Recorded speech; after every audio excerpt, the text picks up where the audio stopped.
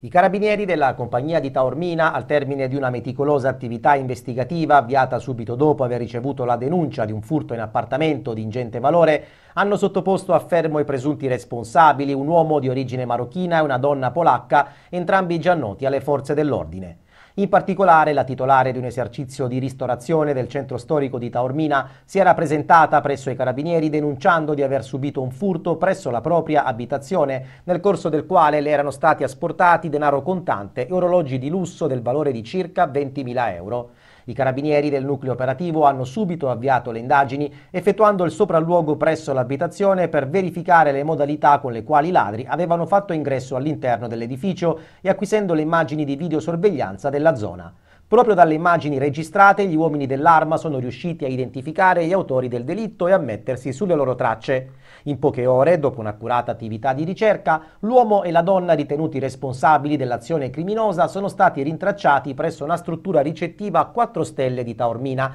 intenti a consumare la prima colazione. I due, che di recente avevano lavorato anche alle dipendenze della vittima come camerieri e lei anche come babysitter, sono stati trovati in possesso di circa 8.000 euro in contanti e di qualche dose di cocaina e marijuana per uso personale. La donna, messa davanti all'evidenza dei fatti, ha ammesso la perpetrazione del furto in concorso con il giovane marocchino, negando inizialmente il furto degli orologi di pregio. Ciononostante, le ricerche della refurtiva da parte dei carabinieri sono proseguite e hanno consentito di recuperare anche i quattro orologi rubati, tra cui un Rolex e un Cartier. Le indagini dei carabinieri hanno permesso di documentare le diverse fasi dell'azione criminosa, inclusa quella del sopralluogo, e di accertare che i due avevano già speso circa 3.000 euro del bottino in cene e ristoranti di lusso del comprensorio taorminese, hotel a 4 stelle e in acquisto di costosi cellulari. I due sono stati associati presso la casa circondariale di Messina Gazzi al termine dell'udienza di convalida. Il giudice ha applicato la misura della custodia cautelare in carcere per l'uomo e quella dei domiciliari per la donna.